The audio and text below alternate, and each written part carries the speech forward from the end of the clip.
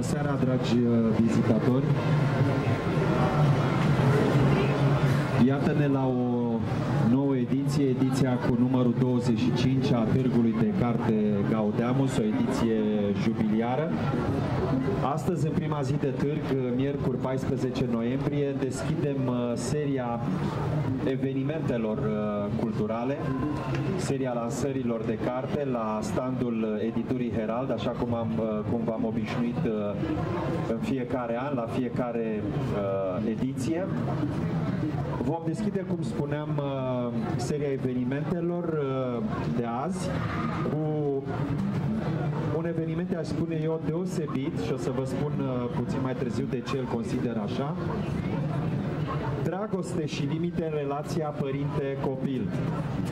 Vom uh, lansa și vom vorbi despre două titluri foarte interesante, două titluri care fac parte din două colecții uh, diferite, dar cărora noi le-am găsit să, să le spunem un, un numitor comun.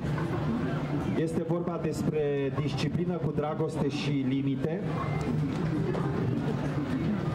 soluții practice și liniștitoare pentru cele mai frecvente 43 de probleme de comportament din uh, copilărie, cum ar fi accesele de furie, hiperactivitatea, comportamentul agresiv, dependența de ecran, anxietatea față de schimbare, distrugerea lucrurilor, folosirea excesivă a lui nu, rezistența la somn și multe altele. Uh, am ținut în mod special să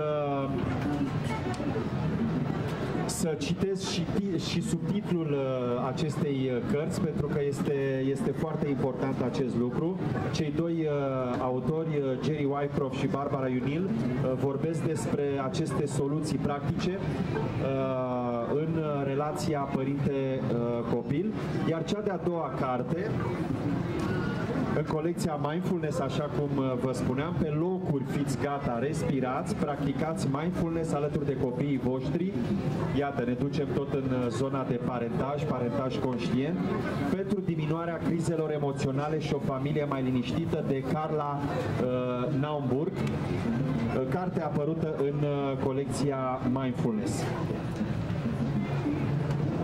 Invitații, invitatele noastre din această după amiază, care ne, ne onorează cu prezența, Cati Călin, psiholog, formator în metoda ESPER a lui Jacques Salome, Sabina Strugariu, psiholog, psihoterapeut, Iulia Feordeanu, psihoterapeut de formare jungiană și coordonator de programe la Asociația Solmentis, uh, colaboratoare mai, uh, mai vechi ale editurii Herald, uh, ele au fost alături de noi și la alte evenimente de la edițiile precedente. Numitorul comun al cărților din colecția Parentaj, ca să vorbesc foarte puțin despre cele două colecții, este preocuparea pentru a cunoaște mai bine și a integra în familiile noastre teoriile psihologice și educaționale care ne vor ajuta să avem o mai bună comunicare și o dinamică armonioasă în uh, relația copil-părinte. Cu autori clasici din uh, colecția Parentaj, somități le-aș putea spune în, uh, în materie, uh, Alice Miller, pentru binele tău, Revolta Corpului, Aleta Solter, Copiii noștri frumoși sănătoși, O viață fără droguri, cărți care au fondat curente în domeniu, sau cum este cea lui uh, Stanley Grispan, Politica locului de joacă, că tot vorbeam puțin mai devreme despre această carte, o aminteam împreună cu Cati Călin, și cele mai recente apariții, colecția Parentaj se adresează atât părinților, cât și adolescenților, fără a uita, bineînțeles, de copilul interior al fiecărui părinte, pentru că în fiecare dintre noi există un copil interior. Aceste cărți, bineînțeles, ne vor ajuta să ne înțelegem copilăria și relațiile cu proprii părinți pentru a reuși să reconsiderăm paradigma tradițională de creștere a copiilor. Nu există părinți perfecți, nu există copii perfecți, nu există relații perfecte sau relații fără tensiuni. Iar cărțile pe care vi le propunem în această după-amiază sunt un companion, le-aș putea spune, și un sprijin în călătoria alături de oameni mai buni pe care vrem să-i creștem și cei care vrem să devenim noi înșine. Prima întrebare pentru, pentru Cati Călin ne putem îngriji de emoțiile și de psihicul nostru pentru a construi o relație armonioasă cu copiii noștri? O, minunat dacă... Minunat dacă ne-am am reușit să ne îngrijim de noi înșine și de emoțiile noastre. Eu zic că relațiile noastre cu copiii și relația noastră cu noi înșine ar merge extraordinar de bine și o să arăt. Știi că eu uh, folosesc metoda Espere care e foarte vizuală și o să arăt acest lucru dacă ești de acord. Da, sunt de acord. Noi am mai făcut astfel de experimente în librărie. Ei, iată, să zicem că eu Și sunt să-și mama, uh, iar uh, tu ești fiul și exact ceea ce spuneai, emoțiile sunt fiecare ale fiecăruia. Să vedem, de exemplu, o emoție pe care o simt eu la un moment dat. Ia să vedem. O conștiență. Să zicem că mă înfurii. Sunt părinte și mă înfurii. Și ce se întâmplă? Oare furia asta cu furia asta aleg să fac ceva în relație? Sau aleg mai degrabă? Iar cartea de mindfulness și cea de-a doua cu dragoste și limite, tocmai asta ne ajută să facem. Să reușim să ne luăm un moment, un stop, în așa fel încât această emoție să nu ajungă să strice relația noastră, să o tensioneze, să o umple de noduri, tocmai pentru că noi nu știm cum să avem grijă de ea. Exact cum spuneai, această furie poate să vină mai din spate, mai din spate, de la fostul copil care e trezit și în loc să dăunez relației, ceea ce pot face cu tehnica mindfulness și ceea ce pot face ascultându-mă atunci când vreau să pun o limită, este să văd ce trăiesc și, să, și cum, cum să fac mai departe, este să vorbesc despre ce trăiesc.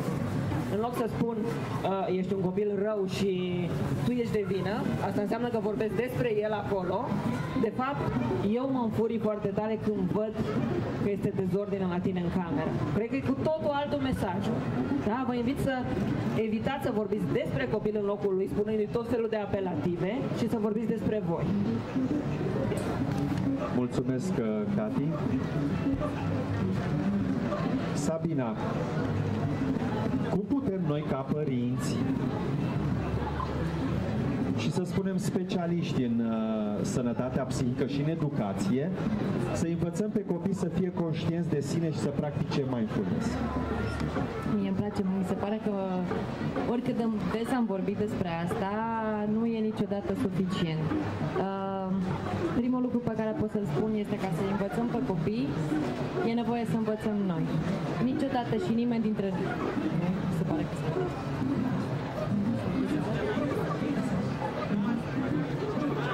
Da. Uh, mi se pare că noi nu putem să învățăm pe nimeni ceva ce nu știm noi înșine. Uh, sau putem, dacă încercăm să dăm mai departe o informație, este pur teoretică. Da? Nu poți să uh, vorbești despre mindfulness, care este uh, nu este o teorie.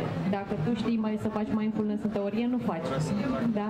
Pentru că nu poți să ai prezență conștientă fără să fii conștient. Și nu poți să fii conștient doar logic. Conștient implică tot corpul. Înseamnă să fii prezent cu tot ceea ce ești și cu emoții și cu tot ceea ce ești. Ca părinte, nu poți să-l ajuți pe copilul tău dacă tu nu ești dispus să mergi și să faci pentru tine lucru, lucru, lucrul ăsta. Adică să devii tu prezent. Dar uh, mi s-a părut chiar de fiecare dată și toate cărțile din colecția Parentaj mi se par uh, extraordinare, niște resurse minunate pentru părinți, pentru că ai de unde să alegi atât de multe tehnici, atât de multe feluri diferite, pentru că părinții sunt diferiți. Tu ai spus că știi, părinții nu sunt perfecți și copiii nu sunt perfecți. Eu cred că și părinții sunt foarte diferiți între ei și copiii sunt foarte diferiți între ei și ce funcționează pentru un copil s-ar putea să nu funcționeze pentru un alt copil. Frații sunt diferiți între ei și atunci Da. cred că trebuie pentru fiecare uh, copil, ca membru al unei familii, uh, din partea părinților, un alt tip de abordare. Ce merge la unul nu siguranță. merge la celălalt. Da, și asta chiar vorbește în uh, uh, disciplin, uh, dragoste și limite. Uh, uh, o- a spune un lucru foarte frumos la un moment dat despre echipa de parentaj. Uh, mi se pare un lucru extraordinar, da? Apropo de faptul uh, că în mod prin care poți să-i ajuți pe copii este să înveți să creeze comunități. Și dacă tu îți găsești o echipă de parentaj, poate că tu, unul dintre copii, tu știi să relaționezi într-un anumit fel sau reușești să, nu știu, înțelegi stilul sau să înțelegi personalitatea, nevoile mai bine și altcineva din familie, care poate să fie un tată, un bunic, un uh, frate, să ajungă cu același mesaj mult mai ușor la celălalt copil. Apropo de, de echipă, uh, și mie mi-a atras atenția și mi s-a părut deosebit de interesant în această carte genul ăsta de abordare, faptul că cei doi autori vorbesc despre, despre această echipă, incluzând, bineînțeles, uh, persoanele aflate, să zicem, în zona de proximitate cea mai apropiată a copilului, bunici, mătuși, unchi și așa mai departe. Și mă, mă gândeam la rolul părintelui, uh, faptul că cartea se numește până la urmă uh, disciplină cu dragoste și limite. Uh, și ambele lucruri, și dragostea, iubirea, blândețea, compasiunea, empatia, uh, și-au uh, rolul lor foarte important, cu atât mai mult și granițele stabilite, limitele, pentru că în momentul în care mă duce cu gândul la, la un lucru foarte concret și pe care cel puțin cei care au copii l-au întâlnit, în momentul în care unul dintre bunici chiar un realizator de emisiune acum câteva zile mi-a, mi-a dat un astfel de exemplu, duc copilul, chiar dacă uh, uh, cei doi părinți nu stau neapărat în același spațiu, în același apartament cu, uh, cu bunicii, îl duce pe copil, la ambii copii, depinde câți copii au, la bunica din partea tatălui, este răsfățat îl ia de acolo, îl duce la bunica, bunicul din partea mamei, este și el răsfățat. E, copilul ăla vine acasă, da? Ce facem cu el în momentul ăsta? Pentru că noi stabilim, de fapt, niște reguli, stabilim niște granițe, niște limite și uite că câteodată ele sunt încălcate de, de, de părinți. Atunci noi trebuie să facem front comun cu această... Nu dacă tot timpul sunt încălcate, cred că uneori sunt diferite. Un lucru care îl uh, spun autorii și mie îmi place foarte mult este că uh, un copil este capabil să înțeleagă diferențele dintre reguli. Da? Adică sunt anumite reguli, de exemplu, vorbește despre violență. Da? Ei vorbesc despre violență, că violența nu este niciodată ok. Dacă o bună, un bunic spune că l-ar pălmui pe copil, asta e o regulă care da, nu e niciodată ok. În schimb, ei spun că copiii sunt foarte plini de resurse. Ei se obișnuiți, știu că o anumită regulă este ok acasă și alte reguli se aplică mai mult sau mai puțin la bunici sau în alte... Uh, și cred că numitorul comun este, poate apropo de competitivitatea asta care se naște între bunici de multe ori, pentru că ei consideră că au trăit mai mult, că sunt mai învățați, că au crescut copii mai deja. Experiență. Da, și atunci ei știu ce au de făcut și părinți este să uh, nu fie, adică să pună interesul copilului mai presus de ceea ce uh, consideră ei că este important pentru copil și făcând lucrul ăsta să decidă care sunt regulile exact asta, de la care e numitorul comun de fapt, care sunt regulile care nu se negociază și care sunt regulile față de care poate și părinții pot să mai închidă ochii uneori. Mulțumesc, Sabina. Iulia, care este relația dintre gânduri și emoții necesară trăirii unei vieți liniștite și unde intervine mindfulness în crearea acestui echilibru?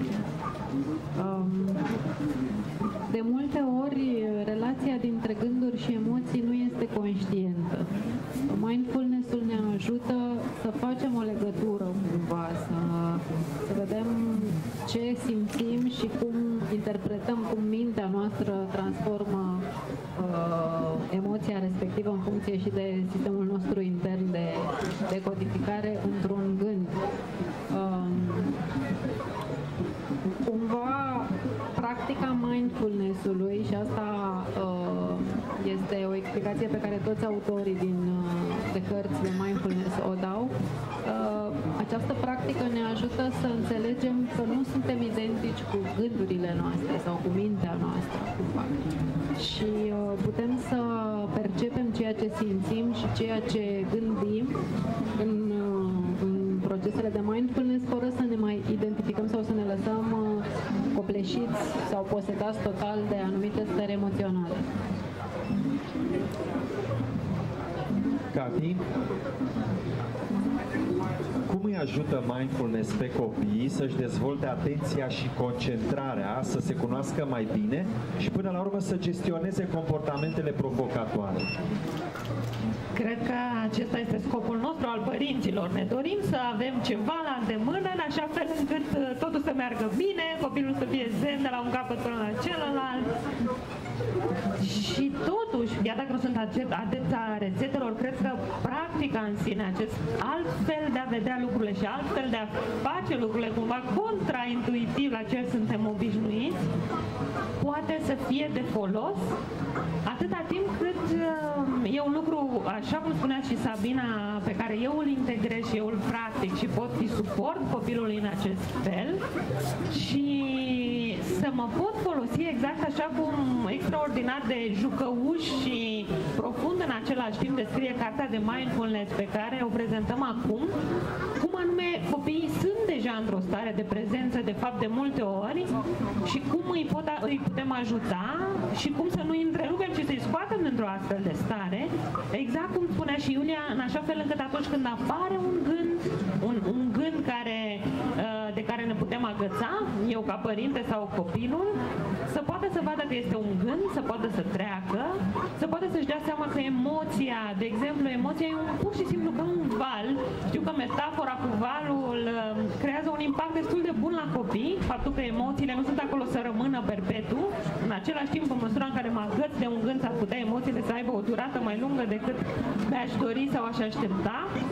Și să poată să lucreze nu doar cu ce e în afară, pentru că noi suntem obișnuiți să uh, le vorbim copiilor legat de ce e în afară, uh, toate lucrurile pe care le pot descoperi și mindfulness-ul înseamnă să fac o călătorie în interior și călătoria poate fi extraordinar de interesantă, iar uh, partea aceea a cărții legate de cutia cu jucării mindfulness mi-a plăcut la nebunie pentru că fiecare dintre părinți cred că poate găsi sau poate să adapteze un anumit de, tip de joc sau activitate care să fie potrivită să o facă împreună cu copiii, pentru că poate fi o experiență extraordinară împreună.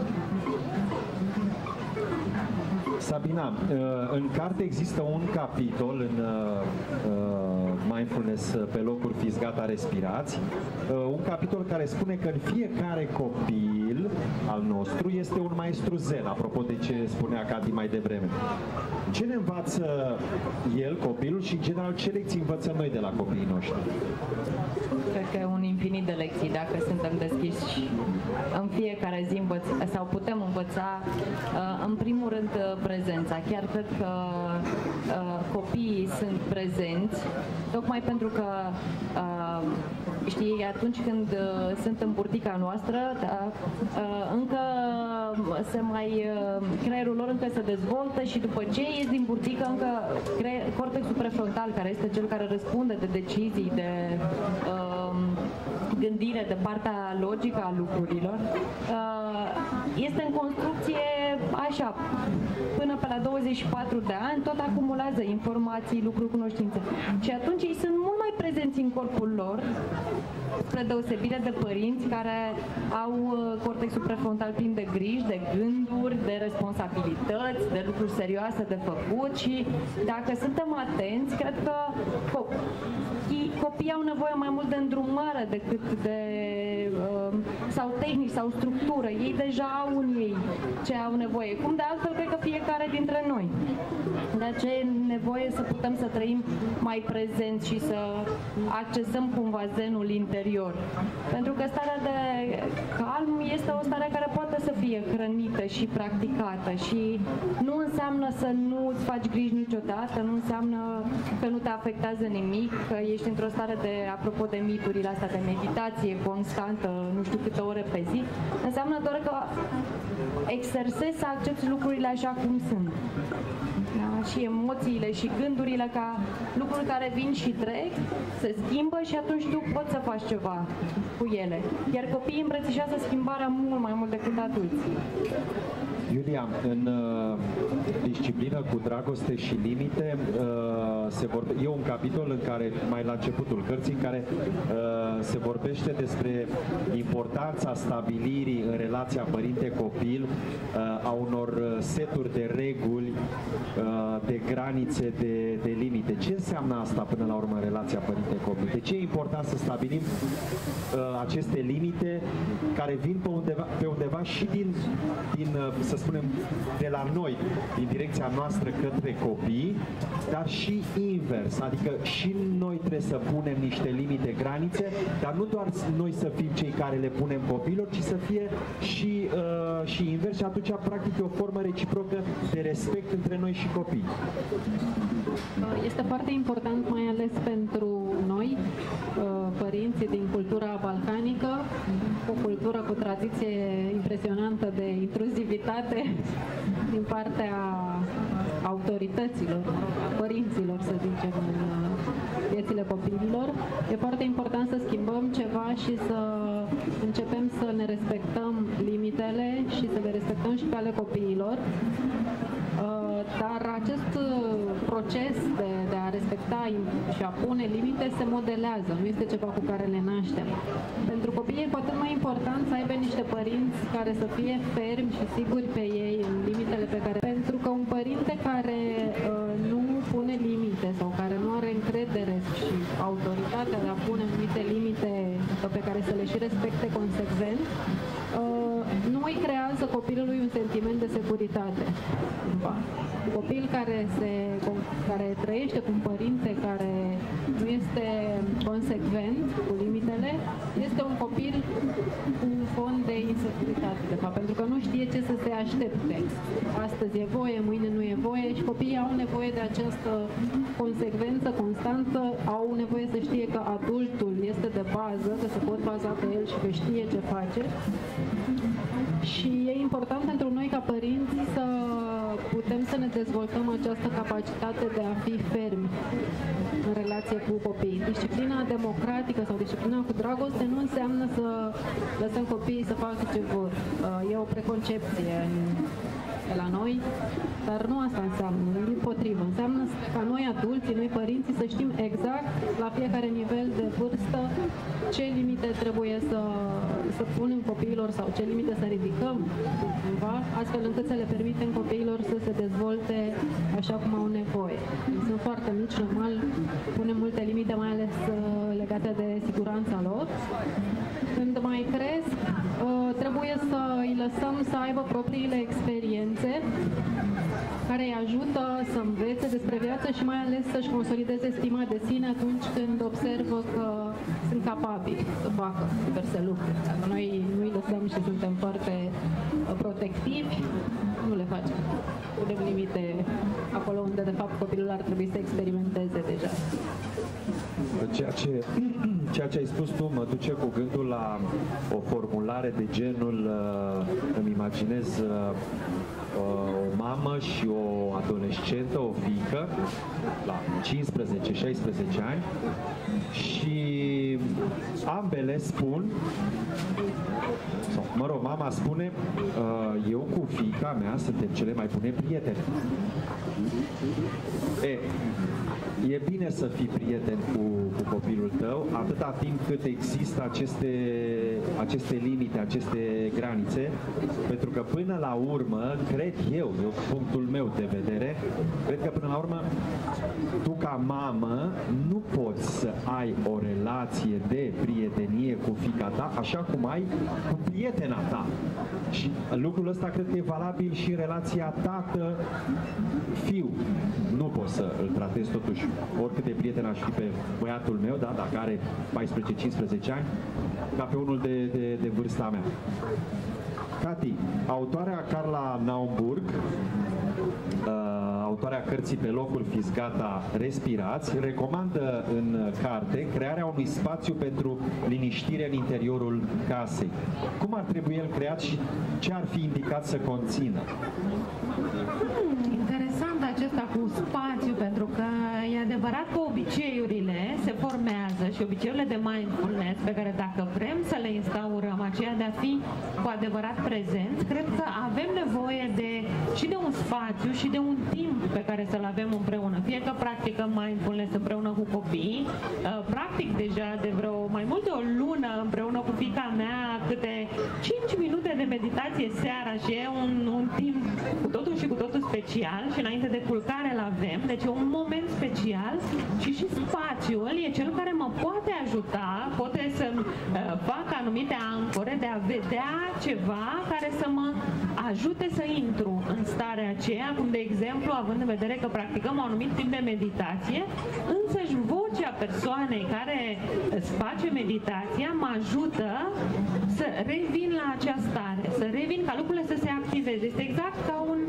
Vrem să creăm un alt automatism. Avem automatismul să intrăm în reacție, să ne enervăm când copilul face ceva, avem automatismul de a ne supăra pe tot și pe viață, avem automatismul cum intrăm în casă să-l întrebăm ce a făcut la școală, cât a mâncat și nu cred că sunt niște automatisme care să ajute relației. Și atunci dacă vreau să creez un alt automatism, noi avem niște autostrăzi în creierul nostru care sunt acestea, cele obișnuite și cele moștenite ca și model și dacă vrem o altă, un alt drum avem de lucrat și atunci sunt noi automatisme care se pot crea împreună cu o stare de bine, cu o stare plăcută, în care să fim aici și acum. Nu e nevoie, uh, asta iubesc la mindfulness, pentru că nu e nevoie de nimic, de fapt. E nevoie doar să fiu atent, să fiu aici prezent. Câteodată mi iese, câteodată s-ar putea să nu-mi iasă, câteodată s-ar putea să izbucnim în râs la sfârșitul meditației și e în regulă așa, dar sunt acolo și sunt prezent cu copilul fără să mai fiu în altă parte, fără să sar și să mă gândesc dacă nu faci exerciții la matematică, nu o să ajungă nimeni în viață. Da? Să sar undeva într-un viitor sumbru pe care mi-l imaginez, pe care, cu cele mai bune intenții, părinții spun toate lucrurile pe care le spun pentru că au cele mai frumoase dorințe pentru copiii lor. Și vreau să arăt ceva apropo de dragoste cu limite și uh, uh, disciplină, diferența între sentiment și relație. Și Iulia, poți să mă ajut să ții capătul? Iată, avem uh, iubirea uh, fiicei pentru mamă, eu sunt mama, este fică, iată iubirea fiicei pentru mamă și iată iubirea mea pentru fica mea. Iubirea, pentru că uh, părinții și copiii spun ne oferim iubire sau iubirea noastră. De fapt, iubirea e ce simțim în interior. Iar exact ceea ce descrie cartea este de fapt ce facem la nivelul relației. Pentru că cu foarte multă iubire s-ar putea să ajung să-mi lovesc copilul sau e devenit adolescentă și să-i spun nu-ți dau voie să mai ieși vreodată din casă. Așa ceva e inacceptabil. Vezi? Deja începe să râde. E clar că nu o să, n-o să reziste prea mult limita asta. Pentru că spunem, eu îmi iubesc copilul. Cum să-i pun o limită? Nu are nicio legătură una cu cealaltă. Iubirea este aici în interior, e extraordinar și o să am pe tot parcursul vieții și la nivelul relației am nevoie să și ofer suficient de mult timp, atenție, ascultare și am nevoie să pun și o limită și cadru, să pot să cer, să îndrăznesc, să cer și să refuz, tocmai pentru a-i permite să poată să aibă o viață în realitatea de dincolo de casă. Mulțumim mult, Cati Călin. Uh, Sabina, cartea uh, pe locuri fiți gata respirați este plină de tehnici de aplicat aproape, aș spune, în orice moment al, al zilei. Uh, și asta mă duce cu gândul la o carte a lui John Cabazin, Mindfulness zi de zi. Nu devine obositor să fim tot timpul prezenți și, și conștienți? Cum ajungem ca mindfulness să devină modul nostru de viață și să, face, să facem toate aceste lucruri fără prea mult efort? Practicând practicând. Uh, fiecare lucru nou pe care îl facem, cum uh, foarte frumos a spus Cati mai devreme, frumos și trist într-un fel. Creierul nostru este făcut din multe autostrăzi și uh, tristețea vine atunci când autostrăzile alea devin singurul drum, adică avem o mulțime de autostrăzi, dar noi știm să mergem pe unul constant uh, și asta devine obositor la un moment dat. Dar dacă vrei să faci o schimbare, vrei să schimbi direcția, e nevoie să fii atent, să știi câți kilometri ai de parcurs, în ce direcție vrei să te îndrepti, unde ar trebui să virezi, la stânga sau la dreapta. Și cred că același lucru este și cu mindfulness, da? Orice lucru devine obositor dacă nu l-ai făcut niciodată și îl faci prea mult dintr-o dată.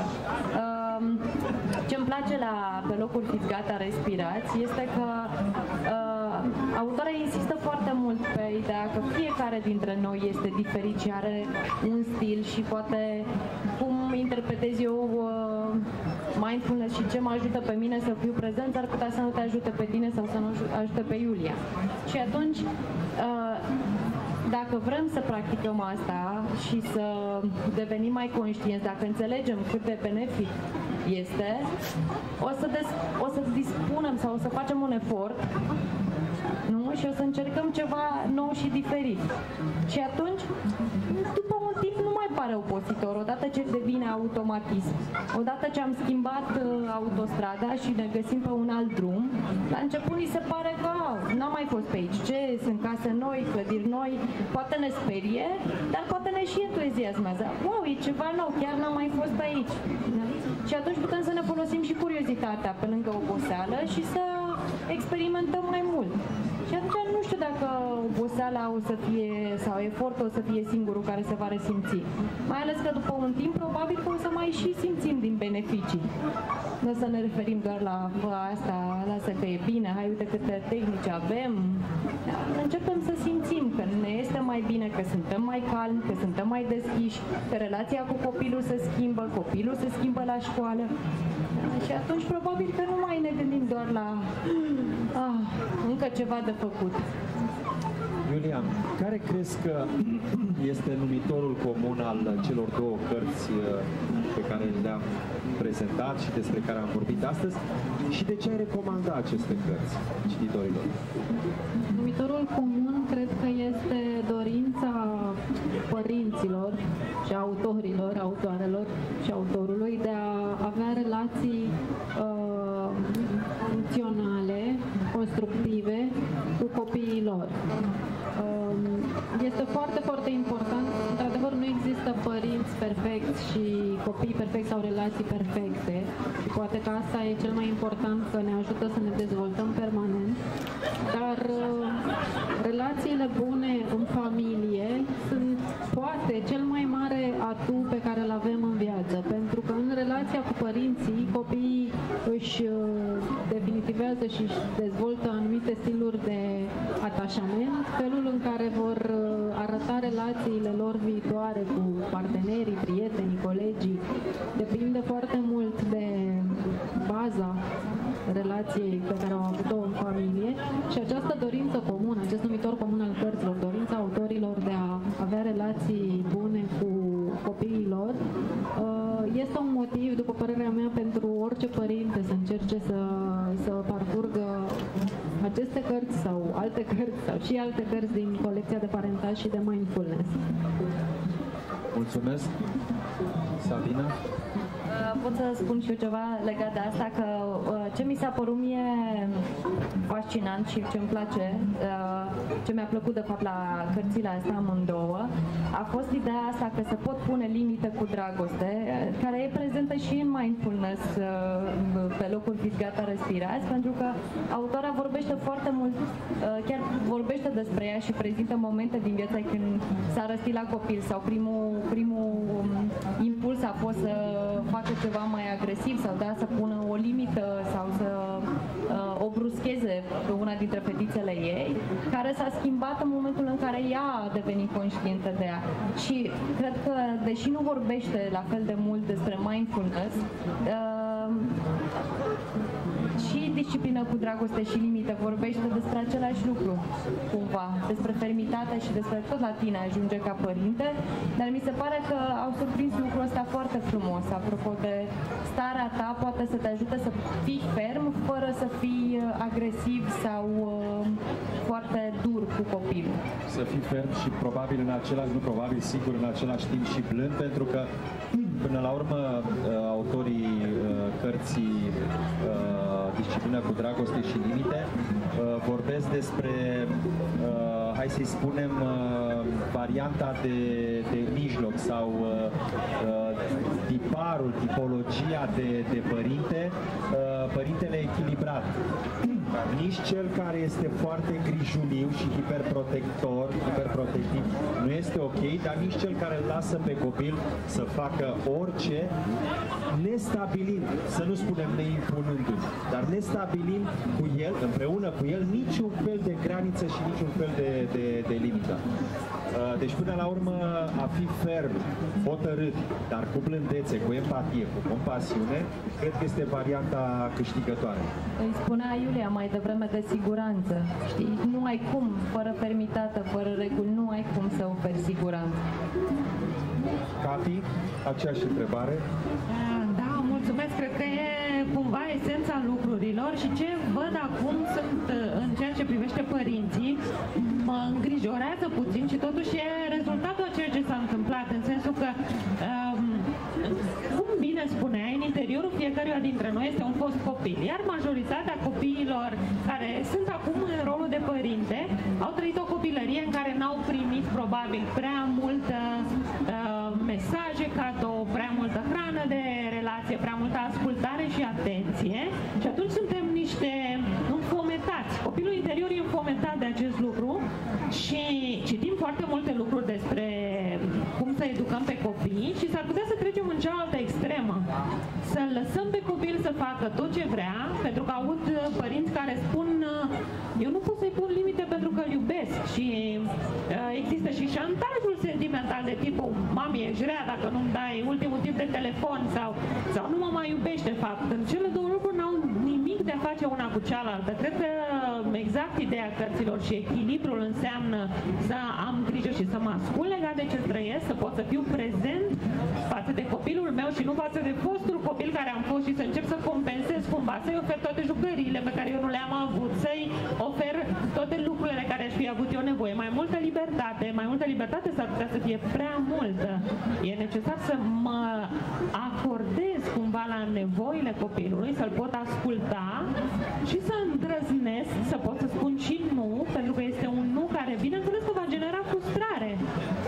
Și este procesul natural prin care un copil reușește să treacă de la plăcere totală la a se adapta mai departe în realitate și a fi un adult lângă care vom dori să fie și un adult care poate să înțeleagă că și celălalt simte ceva și nu e totul legat de el însuși și ce, ce ar vrea în acest moment să fie îndeplinit.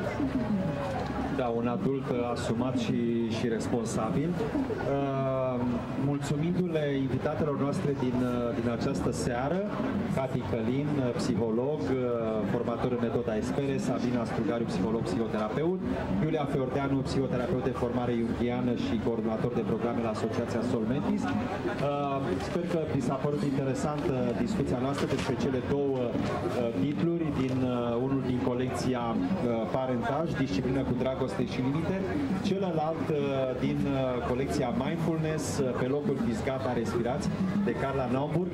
Cum, cum ați aflat și noastră, am găsit și numitorul comun al celor două cărți pe care noi vi le recomandăm să le achiziționați și să le citiți. Vă mulțumim pentru că ați fost alături de noi și vă dorim o seară frumoasă în continuare.